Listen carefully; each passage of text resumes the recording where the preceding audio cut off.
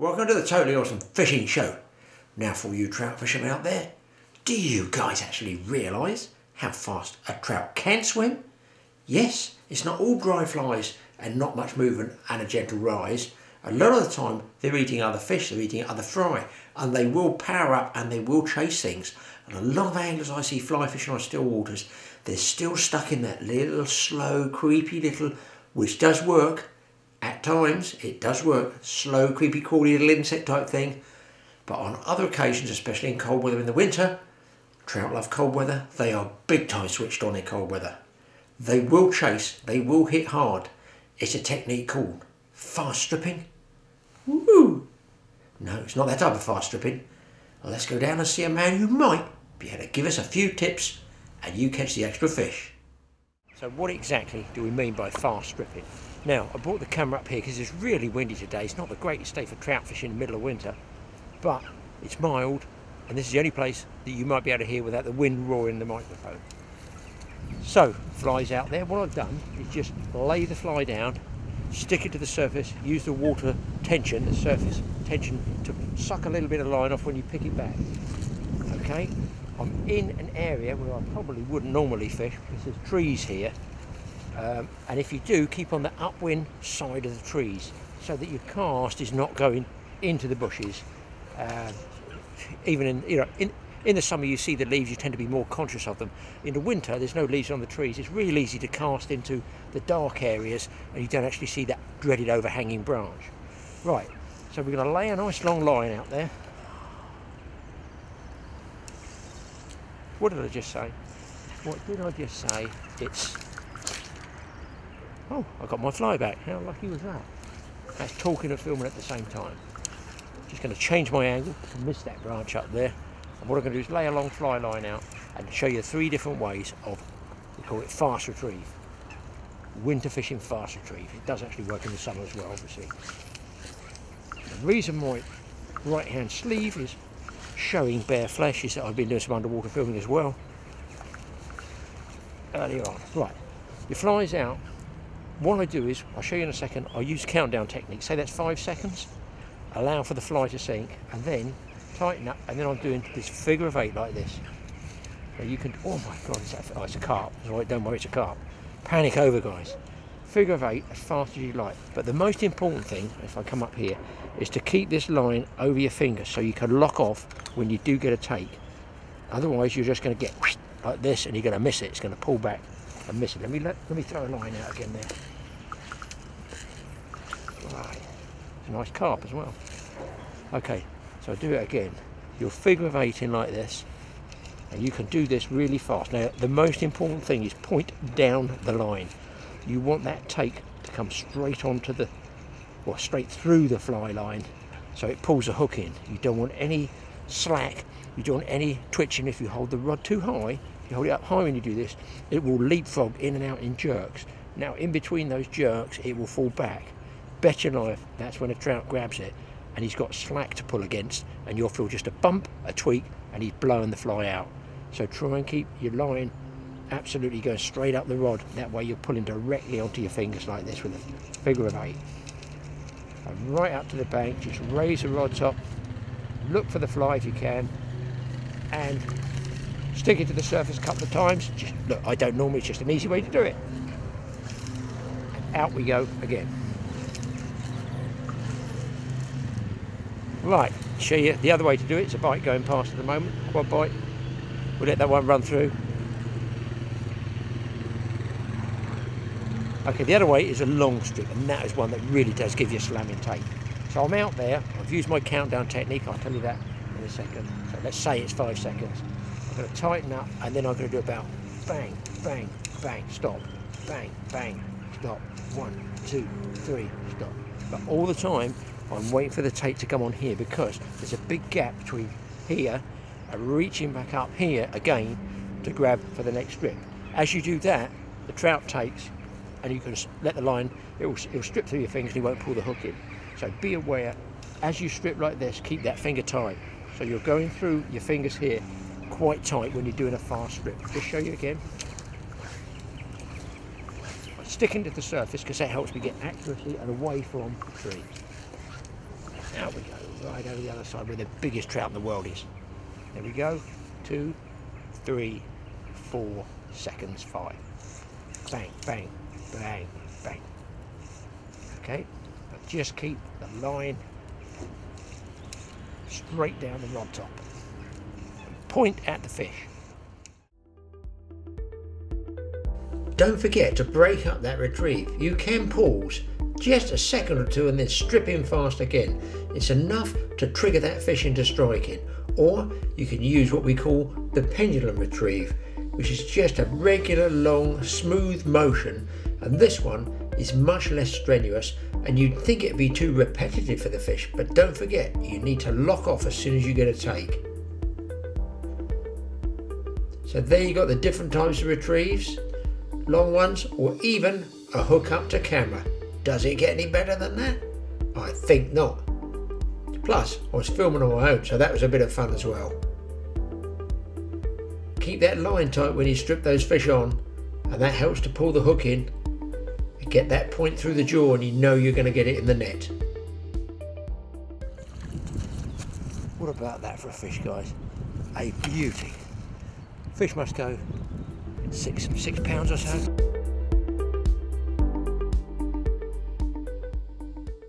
Okay, here's a totally awesome tip when you are stripping fast on those long strips. Do not use light leader, you will get bust off. I'm on eight pounds at the moment. So I tend to up it a little bit when I'm stripping fast like this. Now you can see it. Nice big long strips, but I can go bang, I can lock off, and then the fish should hook itself against the pull of the fly line. There we go again, hopefully not up the tree. I could, I would have liked to have done it somewhere else, but it's so windy, you won't hear anything with the wind in the mic. Okay, clear everything at your feet, don't stand on the coils. Otherwise, again, you'll get a slamming take, the line will whistle out. You're standing on the coils, the rod goes down, classic beginner's mistake, bang, it's gone. Eight pound line or not. Now you can, you can break this up with fast strips or long strips. You can do real long ones, just a pendulum swing of the arm, regular, what we call a regular slip, strip like this is constant speed, stop, start, stop, start, stop, start.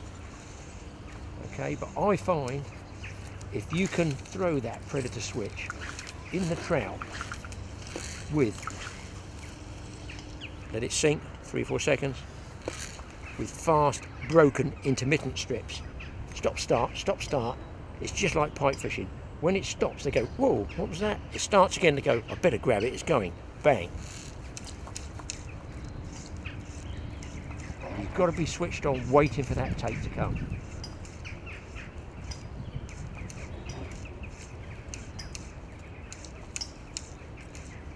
And then a fly is doing this underwater. You can see here there's a lovely still glassy calm area and just to the right there's a strong wind picking up pushing a ripple across the water.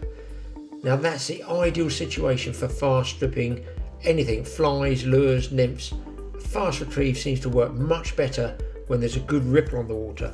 I believe there's more light that gets reflected and refracted through the water down below and it makes that fly stand out a bit more. So don't be afraid to cast into the wind or across the wind and then strip back fast. There we go guys, that one hit me like a ton of bricks. Absolutely stripping in, small firebird. Absolutely nailed me. That was doing those long fast strips. Tried it with a small one, it's a nice looking fish too. Nice looking fish.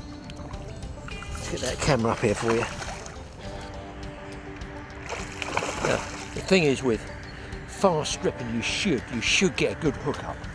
But the problem being, they're going to snap at it and you're liable to get a hook up right at the front edge. We'll find out when I get this one in, assuming we get it in. This is this is a totally awesome snarl up I've got, guys. so it doesn't all work out well. It's jamming. I'm to play this one in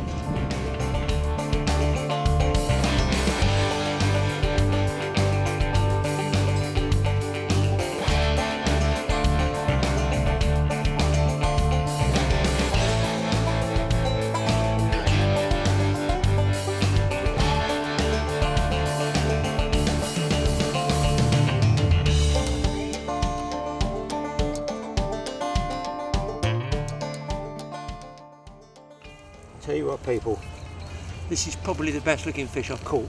this season. Let me just show you. Just there, I hope you can see that in the front of the jaw is the fly, but I'm lucky it's in the bone. There's a fish. Really good condition fish there.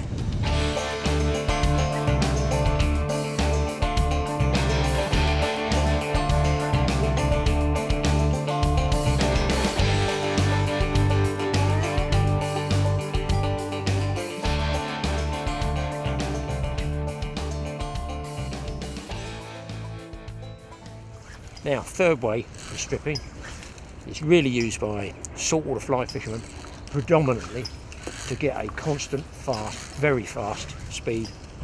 But you can also wear your arms out doing it, and that is to tuck it underneath your arm. You tuck the reel under your arm, okay, and then you're going to double overhand like this. I'll do it slow first.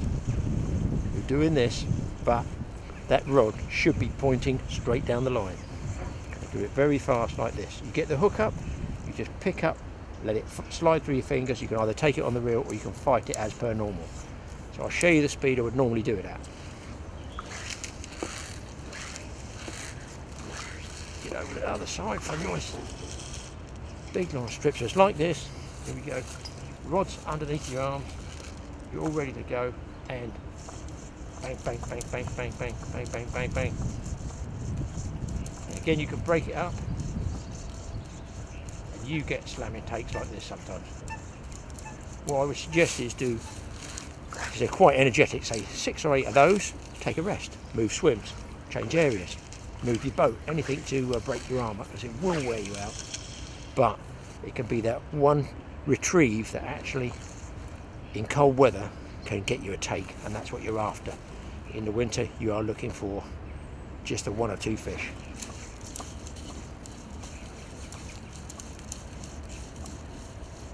Oh, he's behind it, he's behind it. Oh, come on, take it. I take it. Oh, no. Oh, he turned off. One actually followed it right in close, and that was unbelievable. He was zooming behind the fly, which means, of course, I've got to have another cast. If you've got a, like a bead head like this one, this is a Firebird one, so it's quite chunky, quite weighty. It gets down in the in the colder weather, they might be a little bit deeper. So use a countdown technique and just mix it up anything between three, five, ten seconds. Big reservoirs, obviously, you can go a lot deeper, and you also have the advantage of having a sinking line to take your fly down. Now, speed stripping like this is very successful at constant retrieve. It can drive the fish nuts. It can also drive the angler nuts because it's very, very tiring. There you see, I get a hook up and I pull out the fish, unfortunately. Rarely do you get fish close in like this, a don't spook. They'll follow that fly or lure right in close, but if you throw the lure at them again and it's just sinking, it doesn't have the same reaction. They're just disdainful of it and they turn away.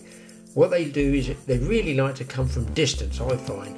Any trout, when you do a nice long cast and then you start stripping back in, that's where it seems to work best. It doesn't seem to me, in my experience, work let's say margin fishing, close in fishing, you need to be at some sort of dif- distance to allow that fly to travel through the water. They're following, following, following, then something kicks their brain into auto and they take the fly.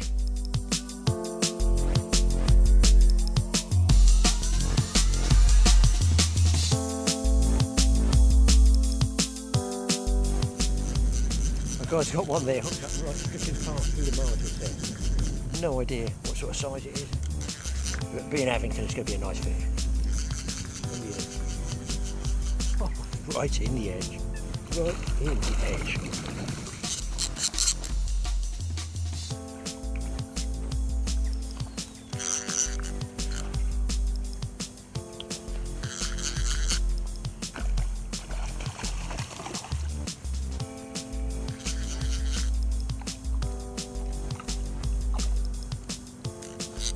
I'm going to take a risk here, guys. I'm going to try and get you a slow motion shot. Fish might come on.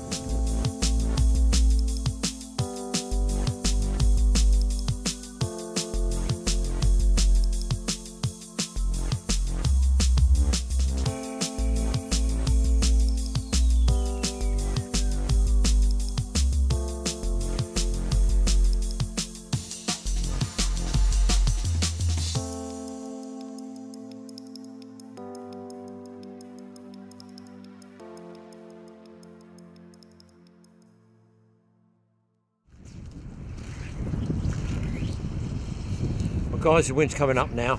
Had some good fish there, really pleased. Three rainbow trout, not bad on a winter's day through fast retrieving. But one final totally awesome tip, let's get back and see that guy in the nice warm, well, totally awesome fishing room. He'll tell you a special loop knot that I use and it just gives a little bit extra action to that fly. But I better have a couple more casts, hadn't I? Now that fishing that I was telling you about that can actually give you more action or more activity when you're retrieving the fly is this. And I'm going to tie it on a giant hook and 30 pound yellow line just so hopefully you'll be able to see this knot. We use for marlin fishing so the hook is completely unshackled from the knot, it's not rigid and gives a lot of action and it works with a fly as well. This is how I tie it. Okay, what you got to do, imagine this is your end of your fly leader. You just tie an overhand knot like that, like so. Just a regular overhand knot there. You can pull it down. You then thread the tag end, as we call it, through the eye of the hook. I can I can pull this knot down a bit and I'm just moving the bend of the hook up. Okay, then I go through with the tag end through the loop. Apologies for my nails, I've just come in and all that mud fishing, it's everywhere. Right, so you've got it like that. I don't know if you can see that there. You should be able to just see that. Then you're going to take the tag end around the main part of the leader four times. One, two, three, four. And then this tag end goes back through that knot that you've made, the overhand knot just there. If you can see that, you pull it down. Now, bit of spit on it. A little bit of spit and that should pull those coils down. See them bunch down? Pull it tight, pull it tight. I can't pull it really tight, I'm to use my teeth. Now it's tight. Okay? Now you can see, if I snip that tag in off in a minute, that loop knot is just hanging there. So when we marlin fish with a live bait, the live bait can swim all around. It doesn't tangle up. Look how loose that is. It's not rigid. And that is the loop knot, which works really well with the fly. And I've got one here. Exactly that. Now, whether you can see that one, I don't know. This is the famous Pearly Daddy Longlegs. And I, as I say, don't get me wrong, it's on about 30 or 40 pound mono, just to show you the knot there. But you can see when you're retrieving that fly, it's loose, it moves around anywhere up in the, if you're on a river, it works really well as well because look at the movement, it's got full movement there. It's not held rigidly with a knot against the eye. A little totally awesome tip for you, it might just get you the extra trout. One final hunch I've got guys. There's a batch of fish in the middle lake that four guys have been catching fish but they're really close together. The men are standing really close together now. I'm wondering because they've stopped catching, if they've pushed fish over to the other side of the lake, and even though it's in the wind, I mean that's why they're there because it's off the back, nice and comfortable. It might be uncomfortable fishing into the wind, but could be fish there. I feel it's worth one last throw. I think I'll have a move.